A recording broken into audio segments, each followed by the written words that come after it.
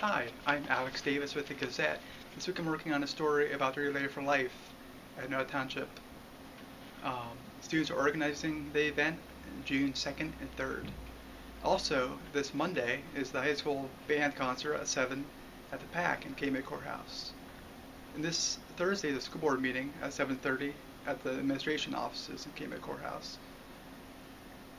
Please check us out on Facebook at MiddleTownshipGazette.com and also check out MiddleTownshipGazette.com for news and videos.